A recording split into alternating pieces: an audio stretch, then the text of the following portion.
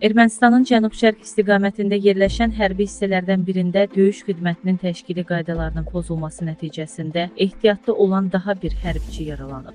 Oxu24.com ay sonra istinadən xəbər verir ki, onun İrəvan sakini 36 yaşlı Lyons olduğu bildirilib.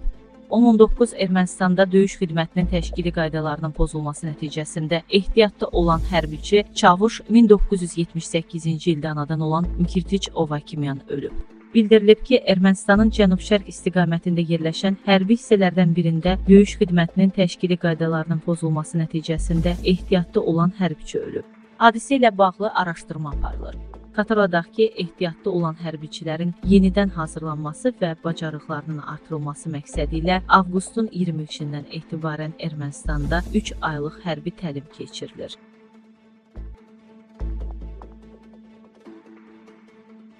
Respublika üzrə pensiyaların sentyabrın 15-də tam ödənilərək yekunlaşdırılması nəzərdə tutulub. Publika az xəbər verir ki, bu barədə Əmək və Əhalinin Sosial Müdafiəsi Nazirliyinin tabeliyində Dövlət Sosial Müdafiə Fondu məlumat yayıb. Qeyd olunub ki, həmin gün güzəştli şərtlərlə pensiya hüququna malik şəxslərin də pensiyası ödəniləcək.